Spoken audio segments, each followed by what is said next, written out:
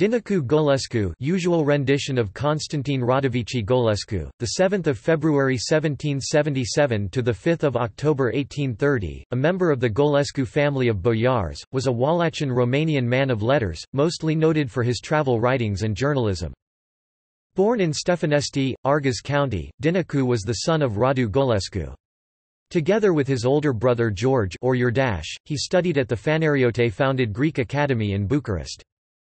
In 1804, he married Zoe Farfara (1879), with whom he had five children: Anna (1805–1878), Stefan (1809–1874), Nikolai (1810–1877), Radu (1814–1882), and Alexandru Golescu Albu (1818–1873). All of his sons were to play prominent parts in the Wallachian Revolution of 1848 and in the politics of Romania, as would his nephew, Alexandru Golescu Negru. In 1826, he published an account of his travels through Europe, Însemnare a călătoriei mele, Account of My Travel, which is the first travelogue of a Romanian in Western Europe. He uses his travelogue to study the administration and production systems in various countries, which he describes and recommends through comparisons with the situation at home.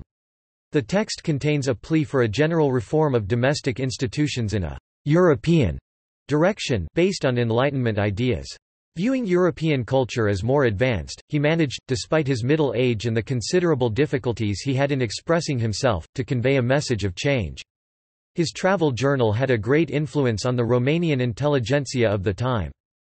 One of the founding members of the Bucharest Literary Society 1827, Golescu contributed to the issuing of the first Romanian-language newspaper to be published outside the country, Fama Lipschii pentru Dacia 1827, Leipzig, its title translated as, "...the fame of Leipzig for Dacia."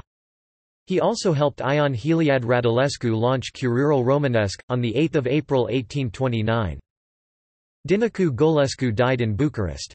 His epitaph, written by Radulescu, was published on 9 October 1830 in Curierul. It reads, Tu i disperut, scriral tale et vor superviatui, si numele tau va remine scump stinte precum si solur ce se adapatilla isvorile tale. You have vanished, but your writings will have outlived you, and your name shall remain treasured by science and by those who drink from the same sources as you."